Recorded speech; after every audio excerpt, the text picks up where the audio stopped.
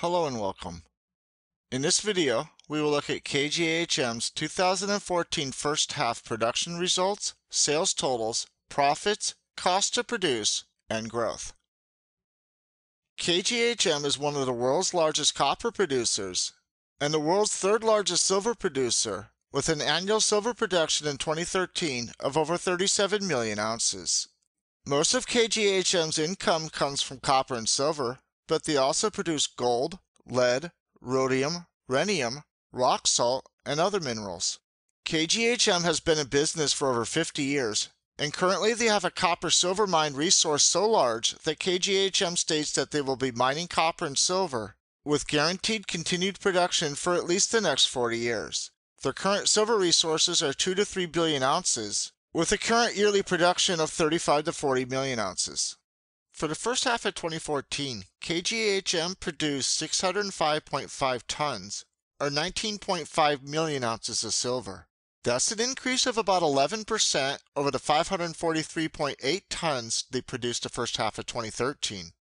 For the first half of 2014, KGHM sold 572.1 tons, or 18.4 million ounces, a decline of about 750,000 ounces, or 4%, from the first half of 2013.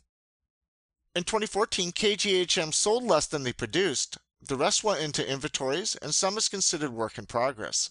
In 2013, KGHM sold more silver than they produced by selling off some of their inventories.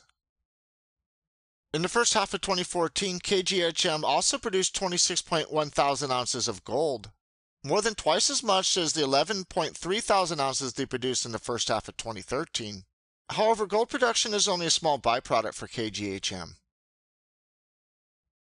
Looking at the abbreviated consolidated income statement, for the first half of 2014, KGHM grossed about $3.1 billion, or about 9.5 billion in Polish currency, down about 24% from 2013.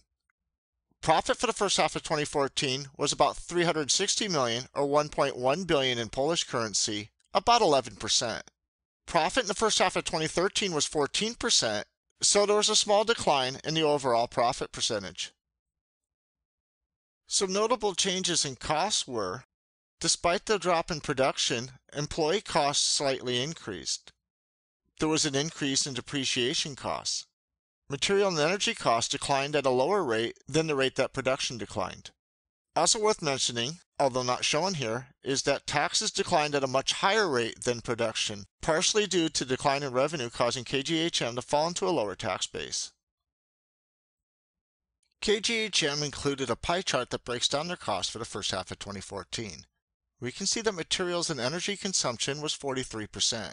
Employee benefits, which includes payroll, was 26%. External services was 10%. Depreciation and amortization was 9%.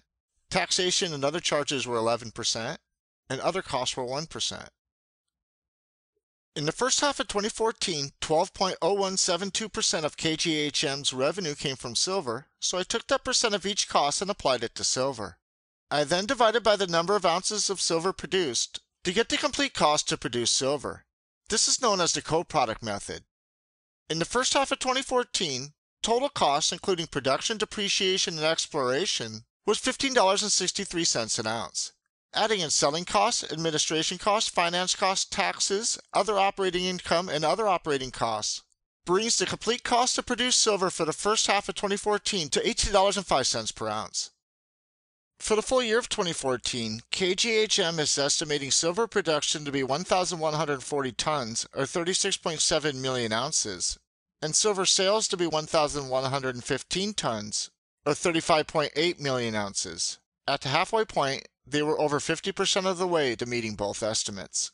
In July, the pre-stripping was completed on the Sierra Gorda mine, a new mine KGHM owns 55% stake in.